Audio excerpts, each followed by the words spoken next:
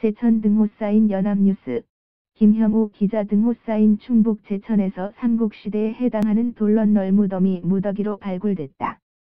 7일 제천시에 따르면 교동 근린공원 조성사업, 교동산 열쇠 번지를 위해 문화재 분포 여부를 조사하는 과정에서 삼국시대로 추정되는 석관묘, 돌런널 무덤, 27기를 발견했다. 석관묘는 구릉 중하단부에 집중적으로 분포돼 있었다. 시 관계자는 석관묘는 입지와 구조적인 특징으로 볼 때 삼국시대에 조성됐을 가능성이 매우 크다고 말했다. 삼국시대 고분군, 무덤군, 은 현재 제천 주변 지역에서 발견, 조사된 사례가 거의 없어 의미가 더욱 중요하다고 시는 강조했다. 구릉 정상부에선 소성유구, 불을 사용한 흔적이 있는 주거지, 이기가 확인됐다.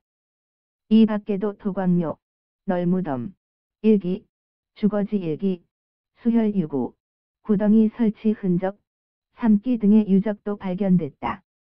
시는 제천의 문화상을 비교 검토할 수 있는 고고하게 기초 자료가 될 이번 유적에 대해 정밀 발굴 조사하기로 했다. 시는 지난해부터 효율적인 도시공원 조성을 위해 35억 원의 예산을 투입, 주민들의 휴양 및 정서 생활에 기여할 교동 근린공원 조성 사업을 진행 중이다.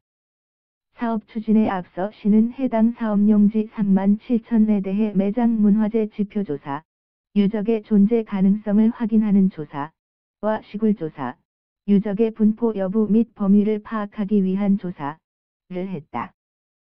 바드캐스트 골뱅이 인어.co.kr 2018년 1월 7일 13, 48 송고